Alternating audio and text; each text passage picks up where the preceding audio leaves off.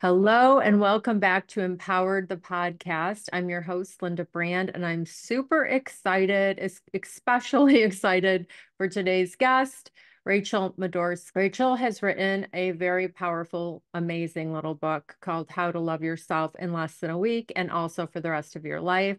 Rachel is a best-selling author, speaker, psychotherapist, and founder of Love Your Life LLC, a holistic executive coaching and professional development company where she helps women entrepreneurs, visionaries, and CEOs experience more love, peace, and wealth in all of its forms. Her insights and teachings have been featured on Forbes, Psychology Today, CBS News, Ellen DeGeneres, The Learning Channel, and South by Southwest Interactive. Her mission is to uplift and inspire the world by teaching people how to love themselves and help everyone, especially women, give themselves everything they ever wanted in life now. Oh my goodness, I love this. Hello, Rachel. Thank you for being here. I'm so happy to be with you. I can't even tell you. Oh my gosh, Linda, thank you. I'm I'm so happy to be here with you too. Thank you. Yes, we met in Florida back at Cathy Heller's retreat. Do you remember? Yes. okay. And I had to have your book. I knew as soon as you told me the name of the book, I was like, that's my book because I am like, people call me the self care queen. I've been on the journey, Rachel, for a very long time on how to love myself. It has been a long, long journey. So tell us a little bit about the beginning and what got you into this work that you're doing and what inspired you to write this fabulous little book. First of all, thank you so much for all your kind and just all your kind words about the book. It means so much to me that it's made a difference for you and that it like actually makes a difference for people because otherwise why do what we do, you know? So it's yeah. it means a lot. Okay, well, the beginning I mean, I don't know how far back in the beginning when we want to go. The short version of the beginning is like a lot of people, I did not have an easy beginning. And by the time I was 20, 21, I was really suffering. I I didn't necessarily want to live anymore. I just like so much pain. Even though I had tried to do work on myself, there just was a lot of leftover pain from a crazy childhood. And I was in the middle of a personal growth course, like really trying, really to trying hard to work on things. And this beautiful woman leaned down to me and she whispered in my ear. She said something like, You know, this would all get better if you would love yourself. And in that moment, I felt two things at the same time. One is I felt like someone just gave me the keys to the castle, like, here's the cure. Mm-hmm. And at the mm-hmm. same time, I wanted to roll my eyes because I had no idea what that meant. Like, great, but how? Right. And you know, for years and years, I did all sorts of work and I was helping people. And of course, life kept getting better and better because I kept working on myself more and more. And, you know, thank God for all the tools that are out there. Yeah. But finally, what I realized later on, you know, I was working with couples and I just started to really see that really the core of everything, one could say, does come down to can we love ourselves? Yeah. how do we do that for real? And so the idea for the book came i was taking a walk one day and i i knew i wanted to give something to the world in the form of a book. And the whole idea came all at once that i wanted it to be short.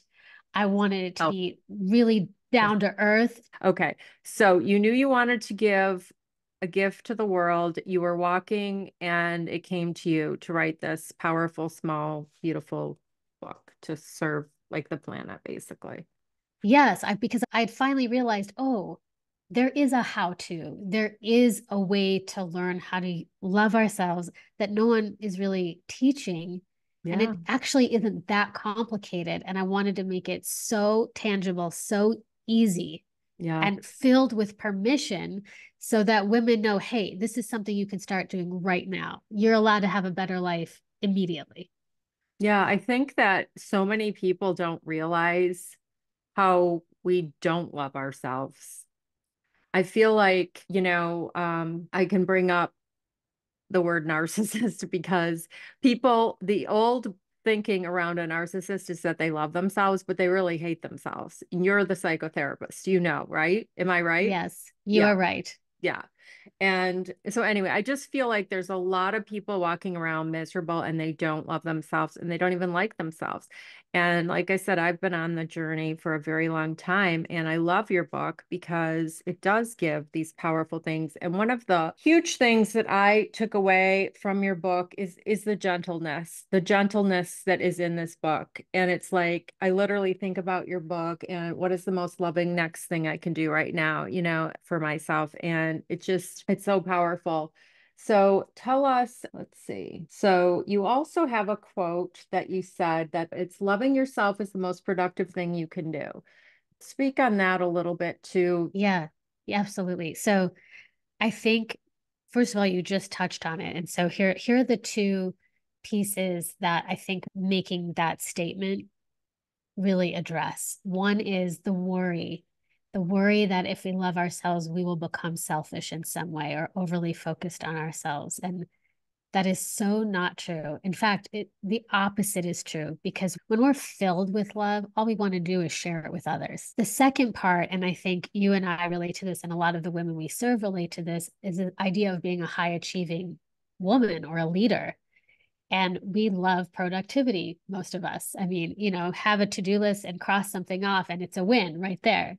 Yeah. And I think we get afraid. There's some myth that if we slow down to really care and address and tend to what is right here in our heart that we're craving, that everything will fall by the wayside and we won't get anything done or we'll slow down or wh- whatever that worry is. And again, even though it sounds, how can it possibly be true? I find that it's actually true because there's this great paradigm, which is slow down to speed up. And what it's saying is when we actually slow down to just handle one thing at a time, or to take an extra 15 minutes to walk outside or rest, not only is everything that we do afterwards done better, but who we're being is so much more powerful and available and effective. That's yeah. That's the best way I could describe it in the moment. And why why do you believe that? Like why? What do you think the reason is? I think it's because it's kind of like you know how when you're in a really good mood, just everything is better. Yeah. The partner looks cuter, the bank account looks okay. Yeah. You know what I mean? Like yeah. Eh, and it's it's similar with self-love in that the person that we're being when we feel loved yeah you can call it a vibration you can call it an energy. Yeah. you can call you know our attention is all yeah. much more shiny and available when it feels good over here. Yeah it's incredible. Okay so tell us about something that we can do today to love ourselves more. Okay. like what's one or two things that we can do to people well, who haven't all, read your book your amazing book. Yes. Thank you. Mm-hmm. Um, you mentioned this, and I think this is a really powerful thing to try. One of the things I like about the book is there's a whole chapter devoted to things you can do to love yourself that take less than three minutes, three minutes or less. I mean, that's the thing. It, it doesn't have to take a long time. So, one of the things is to slow down and ask ourselves, what is the most loving thing I can do for myself right now? And really ask the question and just trust whatever floats up. And for a long time, when I started asking this question, the thing that floated up for me was simply like rest, yeah. relax. Stop the doing and the chasing and the hustle. And we're always like having to earn our worth. And there's just this huge self-worth thing that I think women have. I I myself and it's like we're always like the doing is the productive like we talked about and doing less is actually like you're saying going for the walk for 15 minutes taking a break. It's just like a spirit it's almost a spiritual it's spiritual. Are you spiritual I assume you Absolutely. Yeah. I mean, yeah. I mean, it's we're all connected. And and for someone who doesn't consider them spiritual, that's okay too. And for right. someone who's like, oh, I'm so spiritual, that's great too. It it, it doesn't mm, matter really yeah. like what the identity is, yeah. but what matters is what you're saying. It's who we are being yeah is the is how things get done and how we feel good but so to ask yourself the question and be willing to listen to the answer and do the thing mm-hmm. um, there's something else you said that was so yummy and it flew that made me oh yeah it's something like this idea I, I love helping women make money i want women to be wealthy and I really want to break down all the myths that it's like not okay to want money. In fact, women have that so much more than men. You think men are walking around saying it's not okay for me to make a lot of money? Right. like that's not happening, right. right? Right. And imagine what the world would look like if it were filled with women who love themselves and were making a lot of money. Exactly. And the reason why I say that, this is what it was. You said something that reminded me. I have this mantra and I mean, I have many things I say to myself and beliefs that I practice believing.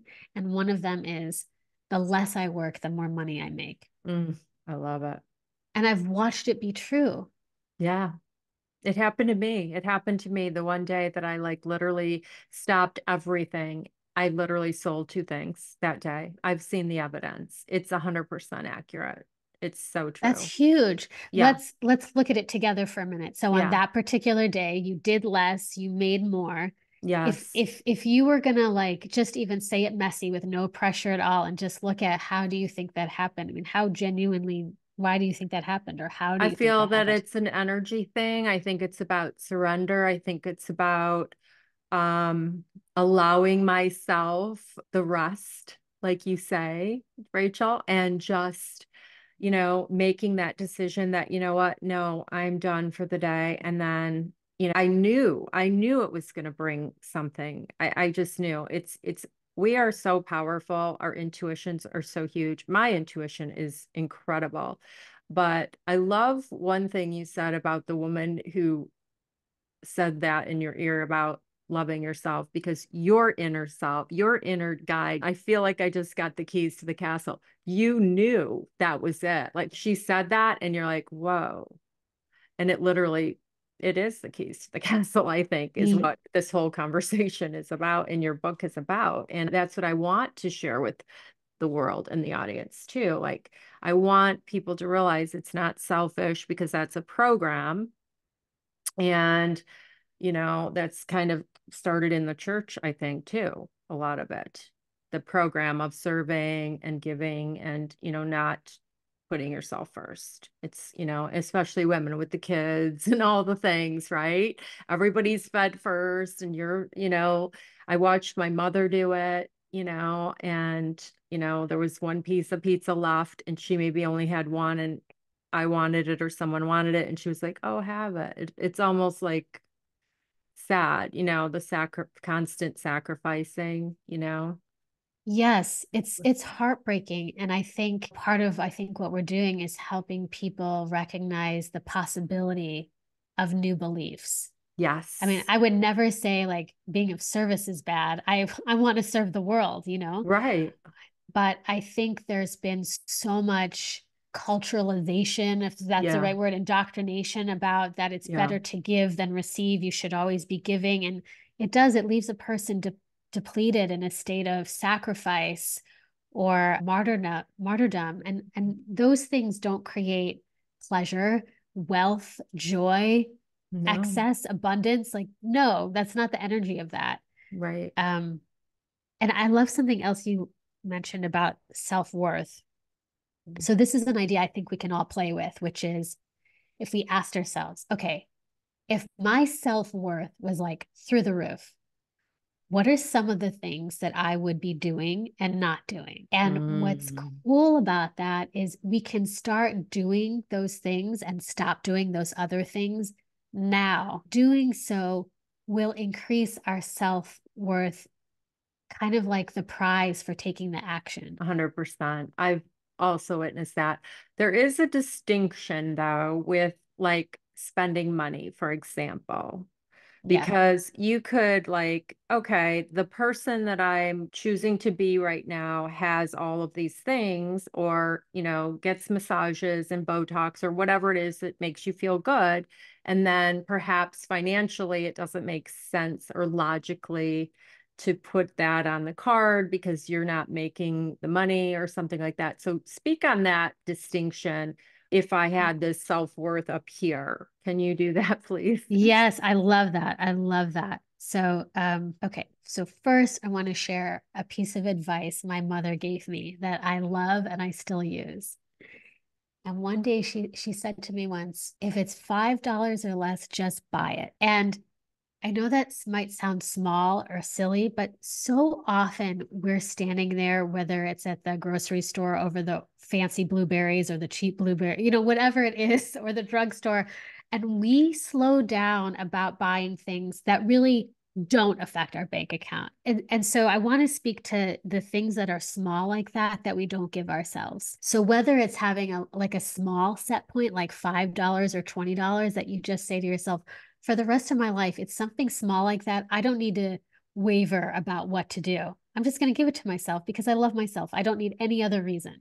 I love that. And then thank you. And then the bigger things like there was a time for me i remember thinking okay when i'm when i'm rich like if i ever get rich and i'm really successful i'm going to get a massage like twice a month and the time finally came where i could do that. Now i have now i get a 90 massage every week period. I don't work on fridays i get a yeah, massage. this awesome. is like a dream come true for me. Right. Um but years ago, before that happened, I was $80,000 in debt. And so, what I want to say about that is if you are someone who has debt, the thing that turned that around for me, the very first step that changed it all was actually something that happened in my mind. And I'm going to share it with you now. And it was recognizing that I felt shame, some kind of shame, some kind of judgment about having that debt. And then switching that to actually being grateful and appreciative. And so, if you're in debt, what I want to say to you is take a moment and think about all the things that money gave you. Even if it was purses, who cares what it was? Whether yeah. it was trips or medical care or whatever, it doesn't matter. It all gave you something you wanted. And isn't that great? Yeah. And it, as soon as I shifted to appreciation, within a year I was on a whole new plan and and I now I have zero debt and money in the bank. But right. I say that because so much everything is like an inner game and an outer game. Mm-hmm. Anything you can do, anything you can tell yourself that makes it softer and gentler and sweeter and kinder in there will make a difference in the actions you take. Absolutely. Yeah, 100%. I mean, that's why we you know, I always say this you don't brush your teeth once and you're good for a week. You don't work out once and you're fit. You have to keep doing the work, and it is work. And I like today, I was high vibration. Like this morning, I just, I was, you know, I have a lot of books and spiritual leaders that I follow, and I was doing the things. I had my morning practice, and I want to hear about yours because I heard yours on another show and I love it because it's very aligned with mine. And I went to boxing and it's really funny because there's a guy that I dated for a minute and we're friends and it's a story why and um he was there for the first time in months. I haven't seen him at boxing. And I have gray going on here. I have the Botox is worn off. I've probably gained weight. And he's like, how much weight have you lost? I'm like, what? I was thinking in my mind, lost. And so it's just funny. And I'm very authentic and I don't care. He could be listening. I don't care. The point is, I was so high vibe. My vibration, its energy is this stuff we talk about. It's so real. And we were messaging a tiny bit after, and he said, like, you look beautiful. You do look like you. I was like, okay, this vibration thing is real because like I said, and he's so observant, he'll be like, What'd you do to your lips? Did you get your lips done? Oh, where'd you did you get some bow I'm like, what? What guy notices this stuff?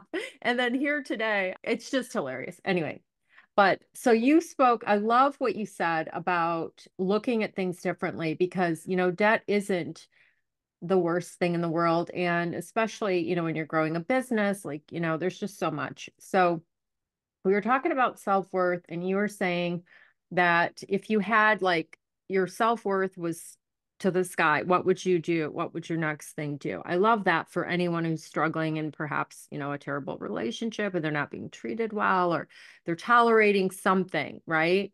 And I love that. So um, that's just huge. And by the way, I bought flowers today and I've been buying flowers because I definitely feel expansive and abundant when I have them. But because of you and our interview and your book, I bought, will share what you said in the book about the flowers, how you would buy yourself flowers from the grocery store and put one flower next to the bed. And it was a reminder every day that you love yourself.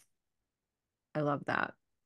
That's so cute. It's so special. So tell us about your personal, if you don't mind, your personal like story. Did you like what transpired in your life after you learned to love yourself? Like you fully love and accept yourself 100% and tell us what's changed in your life.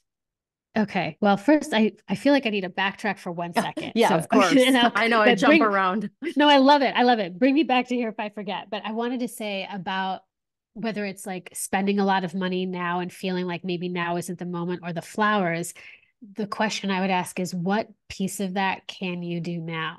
So for me, when I finally decided I was going to love myself, even if I didn't know how yet, I was going to figure it out. That's something I could do. I could afford to buy a flowers at the grocery store that it was five bucks at the time you know? And so if you're if there's something really big you want or if maybe you want massages every week whatever the dream is what piece of it can you start giving yourself now? There's always some piece we can start with now and that's how we grow it. So that's i wanted to I say that, that. about that. That's good. Yeah something small or yeah. Um okay. Then, did you oh what so what's happened since? Yes what has happened in your life since. I know that you have an amazing business and you're making all this, you know, you're doing amazing, you're making all this money, you work very little and you manifested that or you created all that. And I love it. And that's my dream. That's my dream. And I visualize it, you know. Good. And like, no, and so that's your dream. And so to me, I want to say to you that it's yours. Then it's yours. Thank you. Okay. So just to be clear, self love is a practice. I am not walking around on waters and clouds all day. I practice, you know. Um, some days are like a dream. Like I was just last night, my husband and I we went out to dinner. We we have a birthday a day apart from each other. And we were traveling during our birthday. So we finally we have January birthday. So we finally and we and I was was just really holding like how lucky I am, how grateful I am, how much I love my life, how scary it can be sometimes when life starts feeling so good. Like, can it keep being this good? Is the, is like is the shoe going to drop? There's, it's a lot of right. practicing our ability to have it be this good and have that be normal. Right. And so, so I'm happy to, sh- I want to share like some of the great things that have happened since. And yeah. it's a daily practice. Yeah. You know, there like the last time I was at a photo shoot, I mean, I had a self-judgment attack like nobody's business. Like, you know, it it it still flows. You know what I mean? I still have my moments. But what I love now is that there's always something we can do. We can always slow down. We can always ask, what's the most loving thing I can do now? So what's happened since then is this book, which is a dream come true. I wrote and illustrated it. Um, I wanted to ask you that. Yeah. Oh, yeah. So you you did do the artwork in there? I did do the oh, artwork. Yeah. I should have put cute. that on the book somewhere, but That's yeah, cute. I loved yeah. doing the artwork. to ask. It's so cute. Yeah. And yes, I did see Ellen. Go ahead. Tell us what. Yeah. Ellen DeGeneres chose my book for her 12 days of holiday giveaways and her Be Kind box, which was another dream come true because I love her and I love I the idea of the book going out through her. Um, yeah, I have a business that I love. I have a seven figure coaching and speaking business. I help women really design the life of their dreams and one step at a time make it real. And what I love about that and the work that we both do, that that many of us do, is the more we realize that the life that we're living, like how good we can live our own life is lives is actually the integrity. It's the fuel behind the business. Oh yeah. My my behind the scenes looks exactly the same as the front of the scenes. The front of the scenes is I'm wearing this shirt and this mm-hmm. lipstick and on the bottom I'm wearing my pajamas and my fuzzy socks. And like this is my life and I love it. yeah, it. That's a great um, life. so yeah, I hope that answers the question. I guess I was like wondering like were you divorced or were you like single and then like oh yourself and then you attracted your husband and you're you know like i was curious about that just because i mean i had my struggles and i have a whole story and i'm actually writing a book and it's my life story it's an empowered you know an inspirational true story and i came up with the title today do you want to share sure it's going to be abandoned to empowered so, and it came to me today like that's the perfect name of my book because the book was going to be something around empowered, but abandoned to empowered makes perfect sense. I won't get amazing. All life, Congratulations. Yeah. Oh, thank you. Thank you. And so did you self-publish the book? I'm just curious. No, actually I um the very first publisher I reached out to said, "Yes, oh my gosh, I love you. I love the book. I love the idea." Good but the truth is we we started working together and the book came out and none of it was going the way I really wanted it to. And like many of us who do personal growth work, I kept asking myself, what am I doing? What am I putting out? And I want to say that, especially, you know, for anyone who's listening that does do a lot of personal growth work, is sometimes we can, you know, over self reflect and make something about us that actually has nothing to do with us at all. And once I had that realization and I really asked myself, okay, what's the most loving thing I could do for myself in this situation? And it was to get the heck out of it. So I reached out to a dear friend of mine who had just fully launched a, a new publishing company and they loved the book and they took over and it's been a dream ever since. Oh, that's perfect. Yeah, you honored yourself. Like that's so huge. So you were kind of questioning what is this and then you followed, no, I want to do what feels better for me. I think that's a gigantic thing to share too and that's, you know, I am practicing that a lot. Just paying attention to your your inner guide, your higher self, all of that. Oh, tell us about your background because are you Jewish? I mean, I think you are. Right? Yeah. We're both uh-huh. Jewish. Yeah, I'm Jewish too. I grew up with like zero religion and that's a whole story. But tell us about your faith a little bit because it sounds like it's did that have something a lot to do with a lot of things in your you are making me laugh. Hold on one oh, second. oh yeah. And i also want to hear before we wrap this up about your improv your funny stuff because that is so fascinating and cute. Okay. Oh my god. Linda i love you. Okay first of all i'm going to back up and answer a question you asked earlier. Okay. But also i'm so excited that you're jewish. I didn't know you were jewish. It's so fun to find other jews. Yeah. we love you even if you're not jewish. We love you whatever you are but right. if you are Jewish, it feels extra exciting when you are Jewish. Okay. Um, you had asked me about if I had been divorced or single or any of that stuff. And I wanted to respond to that by saying I was, I am a late bloomer. And I met my husband when I was in my 30s. And we were engaged for like five years, I think, before we got married. We've been together 20 years. So to answer that question, I've never been divorced because I waited forever to get married. Um, and we don't have kids. We have two cats and a dog. Um, but what I will say is that when I turned whatever corner it was, like really started saying yes to myself and like really being able to have love here, that relationship changed dramatically. For the and better. So right. For the better. The way the way we love each other now, and it's always been good, I mean, I've been the one that's had the issues, but um, yeah, but the way it is now is like a dream. And I, I think that's the important thing that I want to say to any of us is I promise as much as I can promise anything that giving yourself the love that you deserve in whatever action that looks like improves everything. It it changes the trajectory of your life. And that's what I wanted with this book. I wanted to write a book that was light and sweet, but also could change the trajectory of your life. Yeah, it's so powerful. Just knowing that working on loving yourself makes such a gigantic difference. And some people grew up in a house where they were taught to love themselves and that their parents loved them unconditionally and taught them to love themselves. And if that was the case, then amazing. But I didn't grow up in that house, you know, and I had a lot of self worth issues. And I've done a lot of healing, especially when I sold my home and relocated across the country to Florida and just the growth has been like I've changed since I met you and I've changed since 2 weeks ago. I'm I'm a different person. It's like it's amazing. I love it actually. I love the the personal growth. And but yeah, your your book is just extremely important and powerful and needed. Tell us about I love this idea that you and your husband have some kind of comedy thing. It's so cute and funny and I love comedy. I want yeah, tell me. I will. But finish that sentence. You want what? Oh, I want to know I what you want.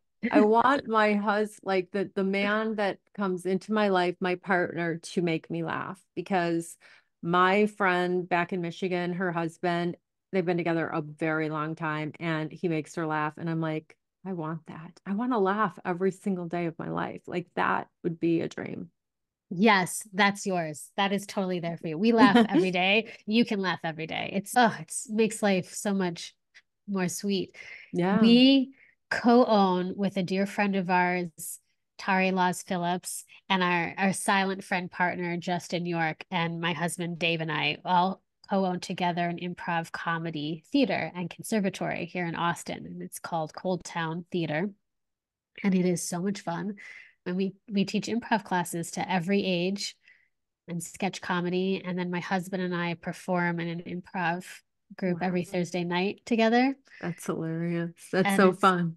It's a lot of fun. It's so important to have yeah. a place in our life where we can let go and laugh and really not yeah. give a shit. Yeah. It really helps. oh, absolutely. Oh my gosh. So true. I just think we're we're just all um a lot of fear is running a lot of people's everything. And one thing I told myself for 2024 is like, I don't want to make decisions out of fear. That's like a decision. Like, I don't want to make any decisions out of fear because, you know, if you're a faithful person, like which I work on the spiritual stuff, we don't have to be afraid. There's not, there's never a reason to be afraid. You follow Course in Miracles. A hundred percent. Yeah. Of course. Yes. That was probably the the first the first personal growth spiritual thing I did in the millions of years ago. Um yeah. I love what you're saying, Linda. And I would offer too, like you don't want to make decisions out of fear. You want to make decisions out of love. Yeah. From love. From love. Yes. I love that. And we'll ask you just now that I brought up the Course in Miracles, who some of your inspirational teachers and books and different mentors if you would mm. share with everybody because Gabby Bernstein's one of my gigantic favorites. I have all of her books, I have all of her cards, you know, and I have her app and I just I love her authenticity and all of the things that she shares because she gives you permission that everything's okay, you know, everything's okay. Yes. Like so you had this trauma that you're shameful around. It's okay, you know, all of it. Yes. And that's what I love also and had to learn because I I'm a recovering people pleaser and codependent and all the things.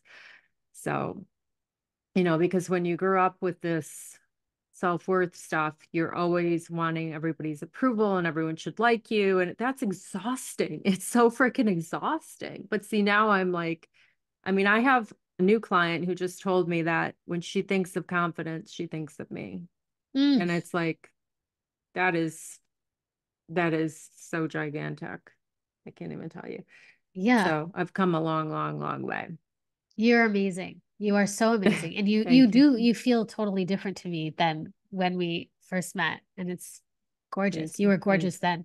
I can just you. feel your more glowy now. Thank you. Yeah, you are you're gorgeous too. I know I was intimidated. I was you told me that you wrote a book and you were a seven figure earner. Somehow I learned that you were a seven figure earner. I'm like, oh my gosh, she's amazing. But yeah, that's incredible. Some of the people I'll just share like some of the people that come to mind. My like my I would say my first spiritual person that I followed was Marianne Williamson with A Course in Miracles and A Return to Love was such a life changing book for Yeah. me. Yeah. But some of the others that come to mind, I love the book uh, The Big Leap by Gay Hendricks. I think that's like mandatory reading for a happy life. Oh, good. Um, and I love Rachel Rogers. She wrote a book called We Should All Be Millionaires. Ooh, I never heard of that one. I love that. really good. And it's also great to listen to the audiobook because it's her.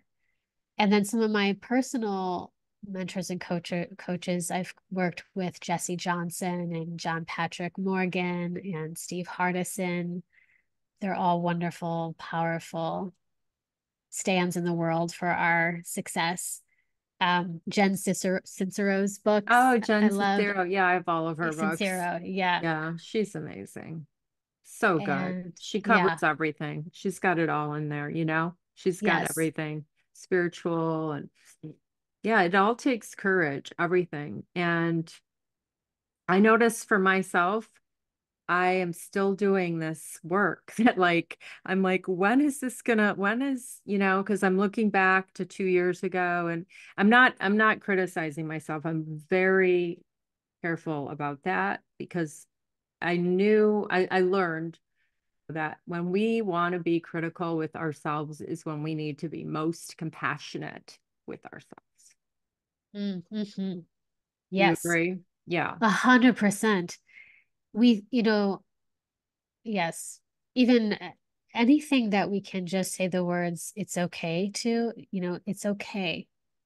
It's okay Yeah. that I did that. It's okay that I'm human. It's okay that I make mistakes. It's okay when I have doubts. It's all okay. Yeah. And we all have the inner critic going and we can notice it and we can send it love and it literally disappears. That's the best thing I can tell you. I had it happen and it hasn't happened in quite a while, but one day it was so loud and so mean and I, I just sent it love and it, it literally was gone in like seconds. That's how it works. Yeah, that's how it works. This has been such an amazing conversation. I'm sure I have a million more questions, but I'm just in awe talking to you. I'm so happy to talk to you. Is there anything else you want to share about this beautiful, powerful little book? Or anything you want to share with the audience or any other? I'm just really, I loved talking to you, Linda. I love being here with you. I love our conversation. I I just encourage people to get the book for themselves and then get one for your friend. Get it for you and then get it for your best friend.